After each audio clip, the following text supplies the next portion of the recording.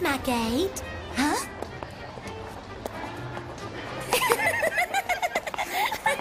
How stupid! Instead of walking around hiding their butts, maybe they should invest in longer skirts that don't show them off.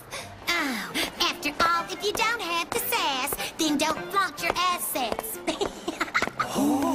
Speaking of which, gentlemen, this isn't public access, it's pay-per-view. Huh? And since you both enjoyed the show, now you pay up. That's good business, isn't it? Pay